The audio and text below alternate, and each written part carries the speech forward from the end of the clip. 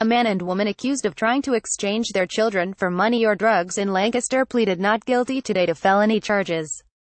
Vincent Calogero, 38, and Sarah Nilson, 32, were arraigned on two felony charges each of attempted desertion of a child under 14, two misdemeanor counts each of child cruelty by endangering health, and one count each of being under the influence of a controlled substance, an unspecified central nervous system stimulant. They were ordered to return to the Lancaster courthouse on Wednesday for a bail hearing. Bail was set at $100,000 after the two were arrested Thursday.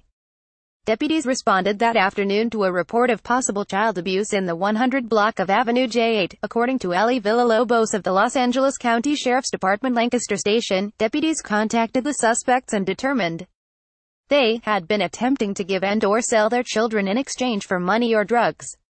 Villalobos said. The couple's two juvenile sons were placed in the custody of the County Department of Children and Family Services, according to the LASD.